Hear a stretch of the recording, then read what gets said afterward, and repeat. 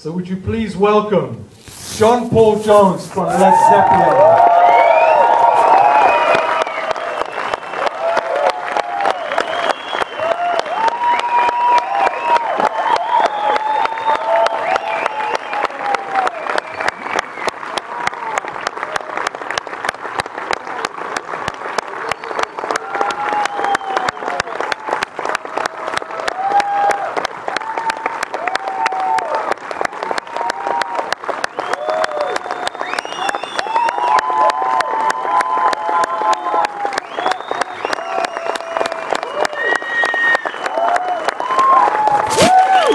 John Paul Jones.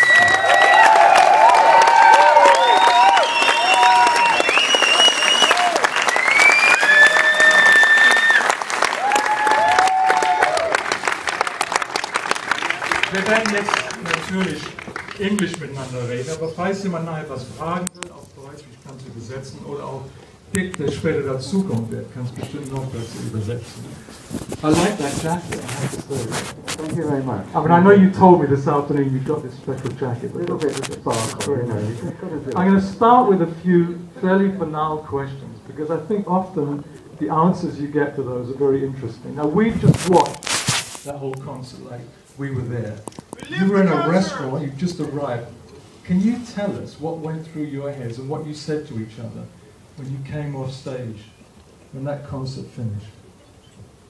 We did it.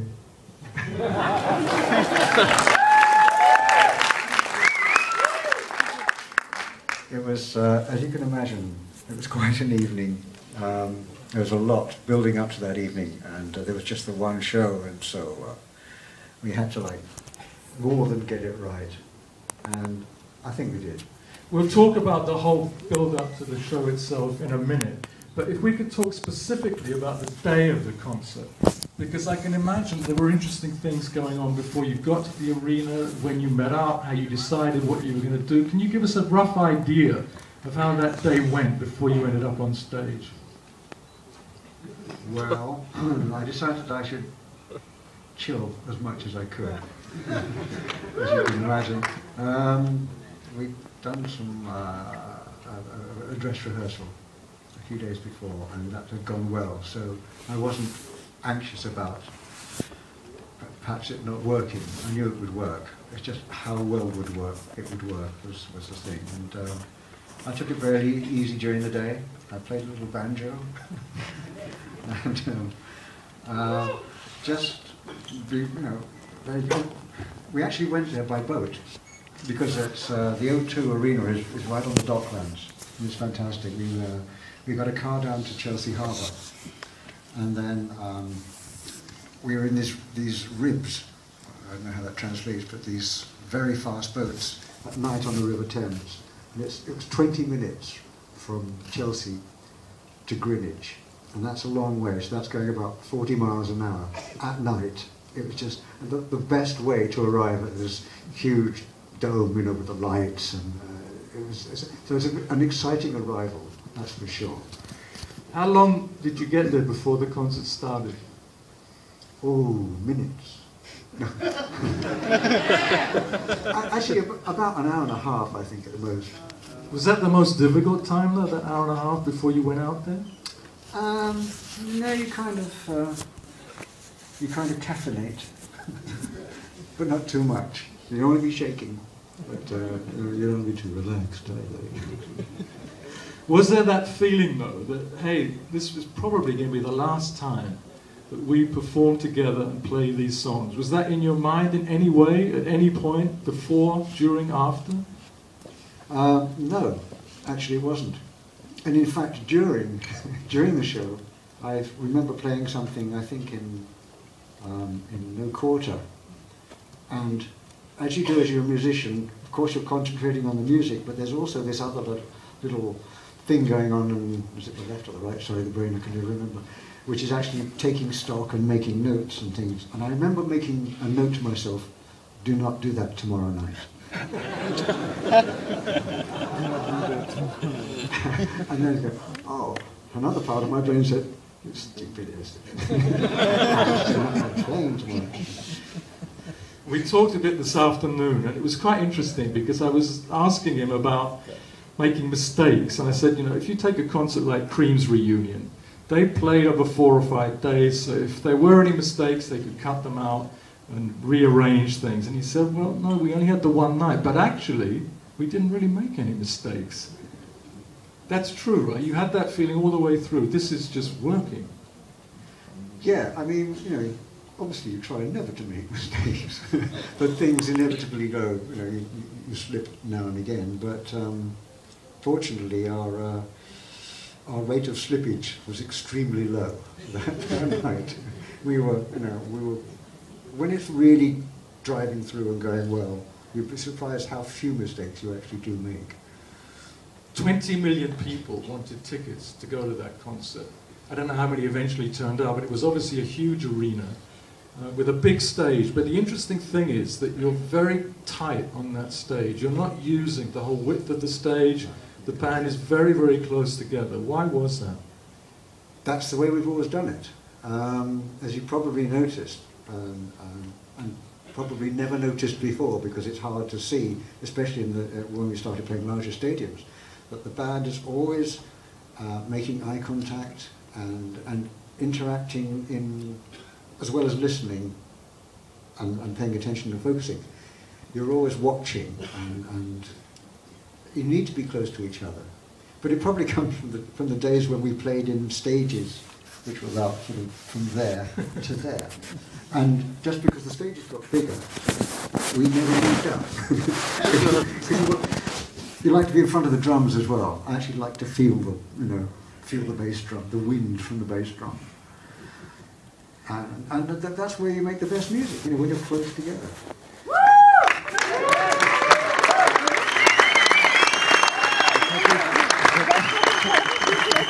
obviously you're close together as well in, in, as much as it's not just standing close together on stage. It was very obvious the intimacy between the four of you when you're working on stage. Now I'm wondering what the intimacy was like when it came to putting the whole thing together. When you start planning for that concert, you've obviously, as, as Robert Plant at one point says, okay, we, we've got 10 albums to choose from here. What are we going to play? Which order are we going to play them in? Can you give us a rough idea of how that came about? Which songs are we going to play? Were there arguments about that? You wanted one, they didn't want one, whoever. Generally, we've always known, I mean, this goes through the music making, it goes through everything that we ever did. We always know what's good for the band. Um, when you're playing, you don't play to make yourself sound good. You, make, you, you play to make the band sound good. So if it means playing lots of notes and the band sounds good, that's good. If it play, means playing very few notes, then as long as the band sounds good, you know, that, that's the whole point. So when we were making the, um, uh, the set list out, all we had to do really was decide how to start.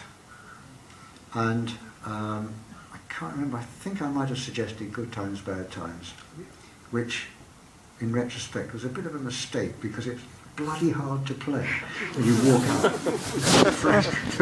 I didn't realise, oh yes, I wrote this riff. Oh. what am I?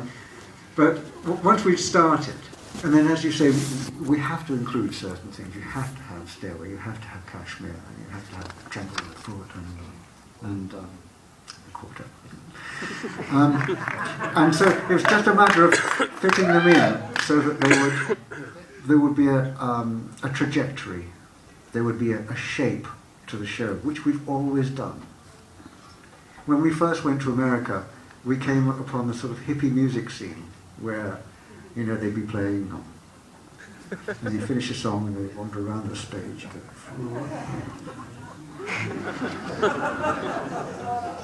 you know, and then, and you, and there would be zero energy. And when we first hit America, we were just like bang, bang, bang, bang, bang. You'd see people going, what the? and, and then we would, we would actually build, build, build the show, you know, so that it had a shape. You know, it had a high, and then it would dip down, and you let people rest for a little bit, and then kick them right up the arse again, you know. and we always do that, and we know how to do it as well. And so there's no real argument, there's discussion. You say, maybe this one, is, and somebody will suggest another song. I think Jimmy suggested, let's do For Your Life. Right? oh yeah, we've never actually done that, have we? No, oh, let's do that. And where can we put it so that it, it's most effective and it's, you know, so it's, it's that sort of stuff. I was going to ask you about that because that's the only song I think that you'd never performed live before. Were there other songs that you considered performing live that you hadn't done before? Um, mm, well, actually, Good Times, Bad Times haven't been. I don't think we've done that on stage, but we might have. I'm sure somebody will correct me. I think might have. Always, yes, I know. Um, I don't know, yeah. Um, For Your Life, of course, I'd actually forgotten that we hadn't played it live. Because when you're recording it, live recording, it's still a performance. And I remember coming to the end of it and looking at Jim and going, how do we finish this? How do we finish this on stage? We've never done it on stage. okay, okay. So with some of the other songs, of course, uh, we've done many different versions and different, uh, different ways of beginning and ending. And um, there become a time when you be playing a song and you go, how do we do this? How do we finish this one? And we'd all look at Jason and he'd go, well, 1971, he did it this way. 1973, however, it this. 74 was different. Know, he has this encyclopedic knowledge. You know, Google Bonham. Anything you want to know about that, you can ask Jason. So when you come back to these songs, and the interesting thing is that you've all been doing different things, particularly you and, and Robert have done lots of different things leading up to this concert. We'll come on in a minute to why it took five years to release the film. But before 2007, when the concert took place, you were both involved in lots of different kinds of things, very, very different to what Led Zeppelin do. The amazing thing is that when you see this concert, it's like no time has passed at all. Everything is there, like you were saying when you went to America, and it's bang, bang, bang. It was exactly like that. When you got back to rehearse, did it click immediately or did it take a bit of time? It clicked immediately. As soon as we start playing together, I mean, you might, we might not have spoken for a while with each other. And, and even then it's like, ah, how are you doing? But it's, you know, you know what it's like when you haven't seen someone for a long, long time or, or you see them sporadically or in different circumstances. Um, it's not as easy as when you actually pick up an instrument and start playing, and then you just you just fall straight back into it. It's almost as if you know you were playing a show two weeks before. We should talk about why this concert took place when it did. I mean, I know that back in 1988, you did a concert in Madison Square Garden in New York. I remember this because I was presenting it on TV, and we had all kinds of problems getting a live stream from America. But that was to celebrate Atlantic Records' 40th anniversary. And Robert mentions, I think, Ahmet Ertegun three times at least uh, during the concert. Can you tell me a bit about the, the, reason for that and the meaning that he had to the whole band, basically? Well, when we made our first record and we were looking to sign to a label, we all we all, we we discussed it and we re all really wanted to sign with Atlantic. Um, there was just something about it, especially for us as white soul boys. we really wanted to be with this. Know, it's, it's had this magic aura, Atlantic Records, of all the R&B and for me the jazz. And um, I think it might have been Jerry Wexler that actually first signed us. Um, but then Ahmet soon took us under his wing, and uh, he was like a kindred, kindred spirit. You know, he, he produced all the records that we were in awe of and it clicked immediately. And plus, we all seem to like the same entertainments. Um, thank you. You've got to answer that question. No, no, sorry, sorry, uh, I didn't say that. Leave that up to your imagination. um, but yes, yes, we were very close with Ahmet. He was he was a friend. He wasn't a record. He was more than a record executive. Much more, much much more. Friend and confidant. The interesting thing is, I mean, I know the band has been offered huge amounts of money to go on tour again. You've refused to do that. But he is a person that sort of, for whatever reason, has over periods of time managed to bring you back together, it seems. So there's obviously, there's a very, very deep link to him as a person as well, not just as someone that worked for Atlantic Records.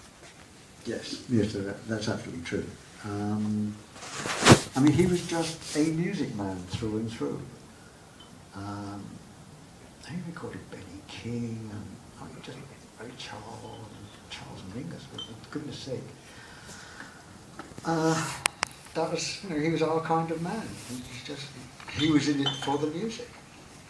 Let's go back to the beginning of the, well, the preparation for the concert in the sense of when did you first decide we're going to do this? And under what circumstances? Did you all sit down together? Who came up with the idea originally? Um, I think it kind of grew. Um, I think we did. I think we did a benefit for Ahmet originally. See, I played with Benny King, and I think after that, Robert. It was Robert's idea originally. I think he wanted to do something in England for Ahmet, and it was going to be a variety of artists, and maybe we were going to do one song or something, two songs, and then three songs, and then saying, wait a minute, we can't just go on and do three songs. And suddenly it's what you see there. It just grew and grew and grew.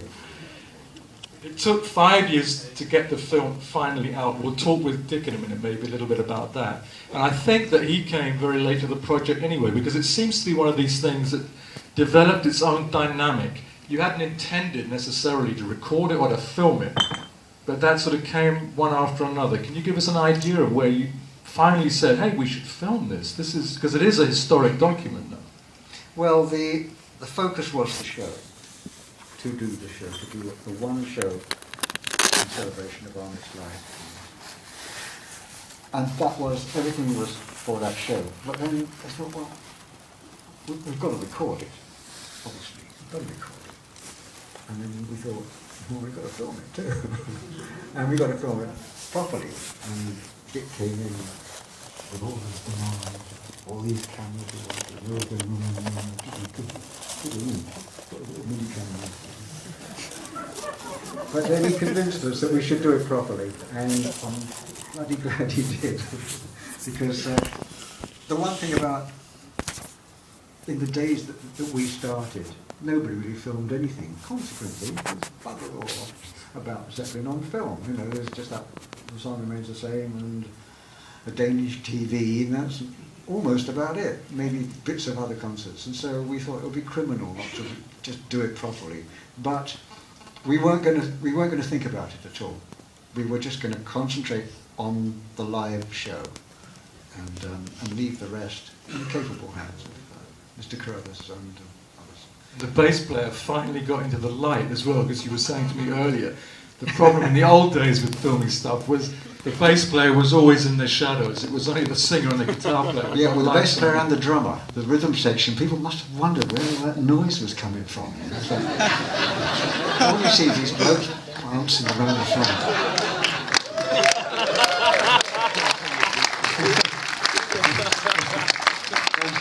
there's this stonking stuff coming in, you know, so, but, but I figured it out. Actually, what happened was that in the old days, nobody had any. When we first started, nobody had any light. And then as we played larger places, they'd kind of put spots on the people that they could see moving. And in the end, it just grew and grew and grew, and we just got darker and darker and darker. but finally, again thanks to Mr. Carruthers, I got some light. And, let's, bring, let's bring it up. Uh, Wie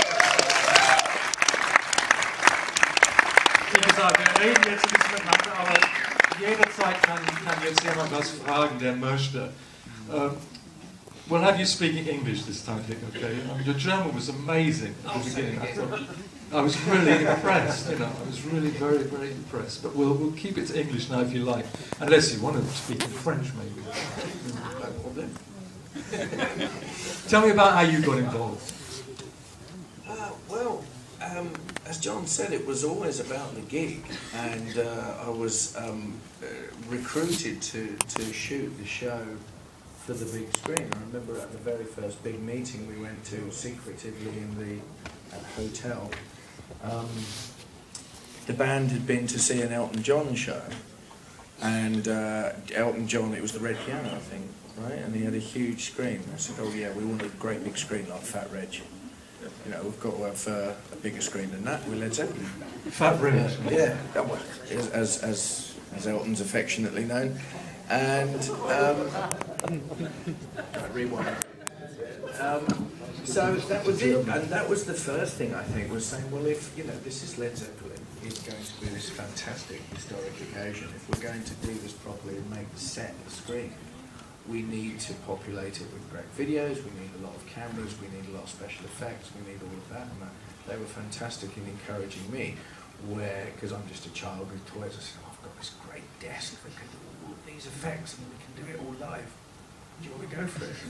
and um, they were absolutely all, uh, absolutely all for it. There was no kind of don't get too close, don't shoot this, don't do that, don't modernise it, don't make it, none of that. Quite the opposite. Like, show what we're playing, go for the effects, make it new, make it a master of technology, make it make it enhance and punctuate and work with music, but but uh, be unique and and uh, so from from the, the leap from that, I don't think I'm answering, answering your question exactly, but the leap from doing that to actually putting it all uh, into a recording was was a, a relatively small leap.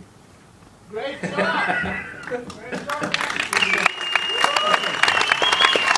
Aware were you when you were on stage of it being filmed? Was that something that once you got on stage, it disappeared completely from your mind? Yeah, somebody actually did ask me that. You know, didn't the cameras put you off? Went, what cameras? Right, you just don't see anything, and it's, um, there's a lot to do on stage at a Zeppelin show. a lot to listen to, and a lot to pay attention to, because it moves awfully quickly. And, uh, and I didn't notice the cameras at all until I saw, saw the film went, oh look, there's cameras everywhere. Which is, you know, again, well done. Thank you. I, I, I do pride myself. The guys that were on stage, um, if they ever, Jimmy, Lon, and uh, John, we shot hundreds and hundreds of shows together, going back to the mid '90s, and they know exactly what they're doing, exactly what they want, and how to hide behind amplifiers, hide behind the drums, when to jump out and to that. I think you know you've seen the film now. I, I, I do genuinely pride myself on that you can hardly ever see them. Um, you know, they're there occasionally, you can't pretend they're not, but they they, they never get in the way, unlike certain concert films. How did you, how did you get that shot of my feet? Well, I can't reveal everything, John, you know, but um, I, I was, uh, Spider cam. yes, it was, it was actually a robot camera, it was a robot camera, but uh, I'm very pleased that we got the shots of your feet, because I think there was somebody, um, somebody had mentioned to me, you know, that, that, uh, that Nice boots! Well, yes, nice boot, but again, I was the same as a fan of Led Zeppelin when I was uh, just listening to the albums. You'd think, who plays the bass? Well, actually, that, funny enough, not to drop a name, but Paul McCartney was at the London premiere. He was. And he said to me, I can hear a bass. So where's it coming from? He said, my feet. he looked at me like I was crazy. Yes. But then, then he understood. When you saw the picture, uh, funny enough, just after that came the picture. And he went, oh yeah, yeah, that's how you do it. I said, well, no other bugger will play bass. I have to do it myself. he does wear he does wear really good shoes. We mentioned the jacket, but have you seen these shoes here? Well, they might get filmed, you know. These shoes, well, you're not, you can't really see them. You're not close enough, but they, when he goes out, when he goes by, have a look at those shoes. 'cause They, they really are very. There's special. rhythm in them there There definitely is rhythm in them, their shoes. Let me ask you um, a couple of things about the aesthetics of the film, because I mean, there's a couple of things that struck me instantly having seen it. I think the first time we see a close-up of anybody in the audience is about nobody's fault but mine. And after that, there aren't a lot more. There's one at the end of Stairway to Heaven, and there's a couple of others, which is fairly unusual these days for concert films. I mean, people tend to always, you know, the audience is singing along, they know all the words and everything. Was that a decision you made right from the beginning, or was that when you were editing, you thought, no, this is about the band. The audience is there, but this is this is the band, really. It became very obvious in the editing stage. We certainly had a lot of audience, great audience shots, you know, as I got the guys to shoot them. Um, but if you just think about it numerically, we had, of, say you've got 12 usable shots at any one point in time, a shot of the crowd singing along, I've probably got six or seven other shots of what these guys are doing. So it's never going to be the best shot to use. And on a more philosophical uh, sort of narrative sense, um, the constant affirmation that you get with a, a concert film of a crowd really enjoying themselves. You know, there are certain bands where that, that's what we want to see that constant affirmation. Um, that's that's like on page seven of a Led Zeppelin concert. What you want to see is what they're doing and how they're playing and how they're communicating and getting completely absorbed into that. You think, oh yeah, there's a crowd, they're loving it, yeah, but I'm really interested in this. So yeah, we cut to it in between songs. They applaud. You know they're there. That's it. It doesn't use a lot of effects. There's the occasional stop which fits to the to the rhythm of the songs. There's the odd little slow motion which I thought really worked. And then of course there's what people have called the Instagram effect, if you like, um, which is used a lot throughout throughout the whole Yes. film. And again, that's something that would really interest me. Did you want to do that beforehand? Is that something to do with modern day technology? Because like here, everybody's filming and they're going to put it on YouTube as soon as we're finished. Where did that come from? And was it difficult once you started to, to not going to answer these on? questions one at a time. Um, They're all kind of the same question. are, I'm just sort um, of beating around the bush. here. No, it's fine. It's something. It's a stylistic thing. What it is is, in fact, Super 8. I'm a big fan of using Super 8. Um, it, I think it's a beautiful texture. It sits in counterpoint to the cleanness of HD, and um, it, it's something that I have experimented with before. In fact, I remember giving John and Jimmy a copy of a film that I made of the White Stripes, which was shot entirely on Super 8 where there with the white stripes, the, the texture and the graininess of Super 8 is, is, a, is a perfect visual metaphor for their sound. So um, inspired it may have been, but actually when you think about it, shooting the white stripes on Super 8 is very obvious. That that's going to work perfectly. So uh, I remember in rehearsals, once this decision was, okay, let's get it in the can, but let's not do it too obviously or make it the, the primary motivator. I said, well, how about we put a couple of Super 8 cameras in the crowd? right? We, it, it will give it a bootleg feel. It will give it a kind of a crunchy textural counterpoint. It will be something that I can cut in where it works musically and stylistically, and that's I, I hope exactly what we've done. In fact, in the edit, the, what you saw where we, we don't expand it full frame. Sometimes we do. Sometimes we do. In fact, if you notice it, I would say we've kind of failed. I think it should be almost subliminal. It, it, it, it's a different thing, as if you're sort of changing your perspective and changing back again. And sometimes it's full frame, sometimes it isn't. Um, but uh, I think I think it works. I think it, it's a little a counterpoint. We've mentioned, John, that it took five years for the film to come out. There could be various reasons for that, but I'd be interested to know from you what input did you have into the film and the other guys in the band, obviously, after it had been shot when it comes to editing? Were you really involved with, with Dick when it came to putting the film together, or did you leave that more to him? Um, yeah, once once we realised, we checked checked up on him quite a bit. but he did all the yeah he, he did all the work pretty much, and then called us up and said, "Come have a look at this, come have a look at this," and we go look at look at that and go, "Yeah, shit." but on the whole, it um, turned into something wondrous. I know that you've said previously at a press conference a couple of weeks ago when you were asked about this five years for Led Zeppelin, five years is like five minutes.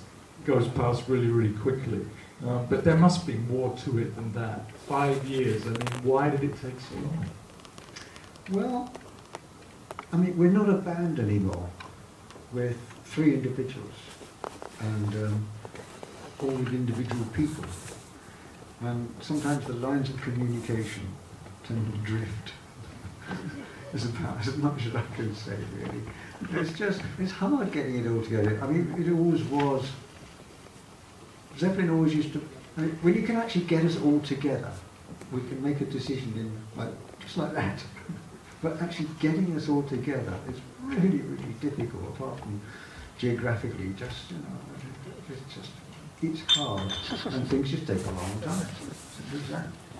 What was the hardest thing for you as far as this project was concerned? Yeah.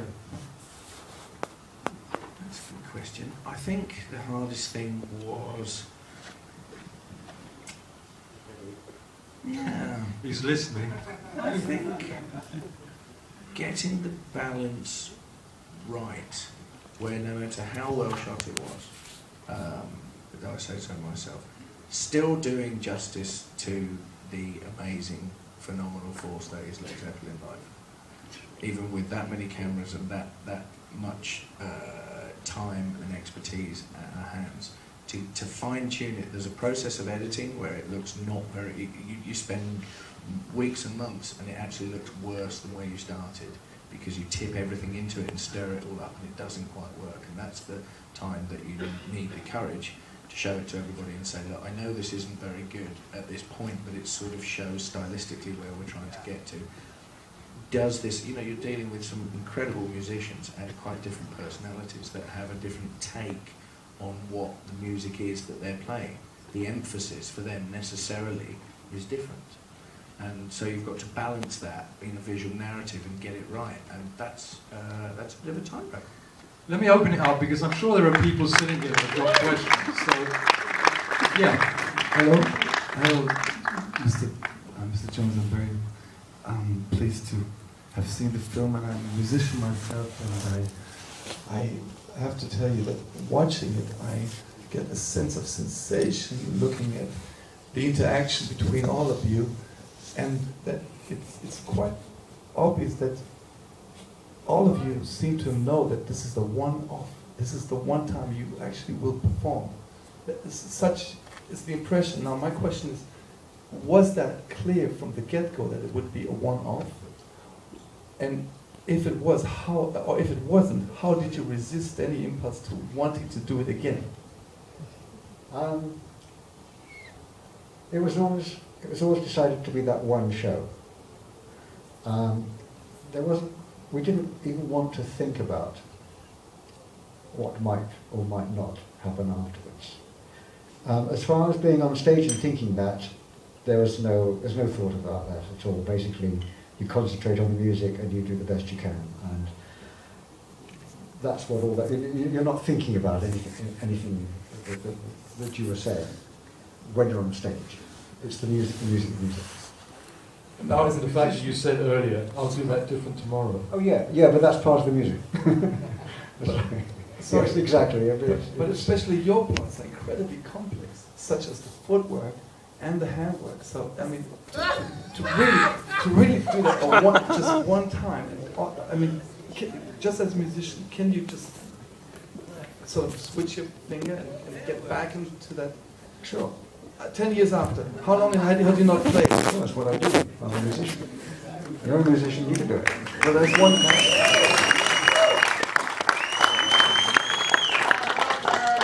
Okay, yeah. Yeah, okay. Okay, my name is Percival. I'm from Dallas, Texas. I live here.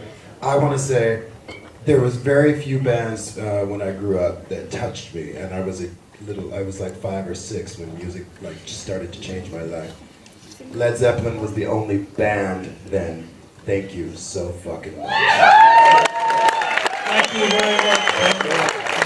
Because, because of you guys letting yourselves free, that's what I have been doing for the past 25, 30 years on stage, letting myself free. Whether people like it or not, if they don't, fuck them. If they do, please come to my concerts. But the thing is, it's because of you guys. You taught me how to do that, and just hat off. And watching this um, film tonight, it just brought it all back, because of course I never threw any of my albums away. I should hope. No, no, no, no, no. I never lost them either. They were the only albums I never lost. Um, my question is, Yeah. Keep over the last, over the tour, during the touring times, what did you guys do to let go? Yeah. Let go of what? let, let go of all the stress, let go of um, Oh, getting, you getting know, rid of the book, bus. cup of Ovaltine, I don't, I don't believe you. game of chess, yeah, backgammon. Chest? No, chest. Okay, good. No, I just, oh, it just moved me so much, and uh, I watched as well um, a short little thing that you guys did, uh, touring-wise through England, and it was at the very beginning. I think it was done in '69 or '70, Mm. and I don't remember the name of it, but um, it showed you privately, which very, very few people. There was a video. I don't remember the name of the song, but it showed you each individual privately with families and, and children. Oh, song remains the same. Yeah, that was Song, it? Yes, yeah. And I just, I just, all those horses. Yes, Yeah. and hair.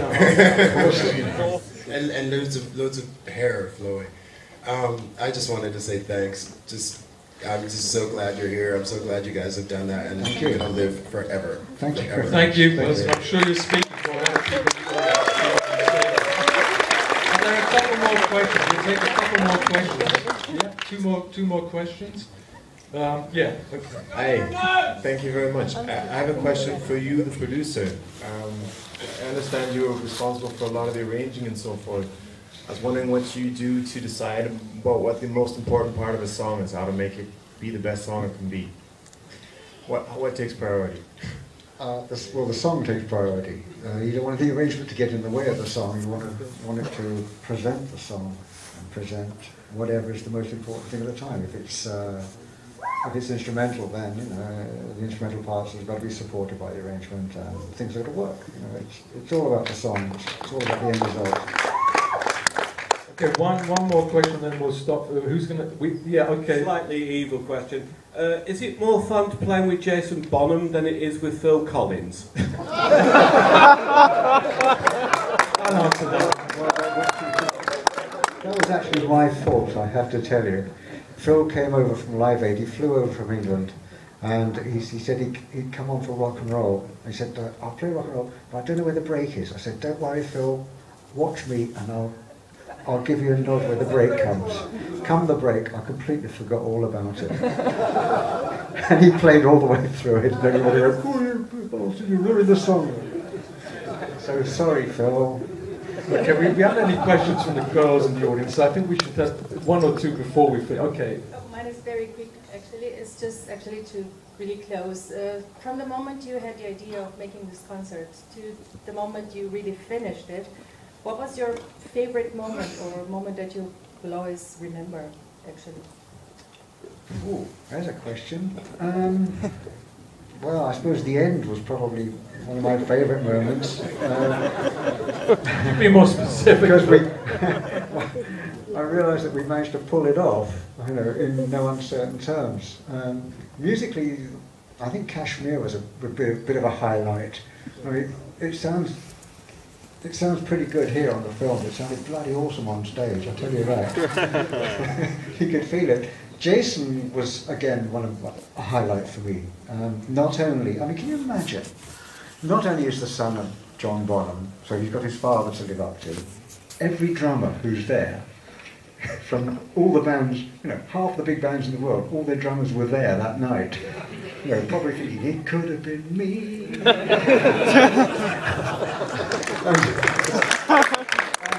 He really, he it off. He took chances. He didn't just make it. He took, he really went for it, and that just what made the whole. That inspired us to play even, even better.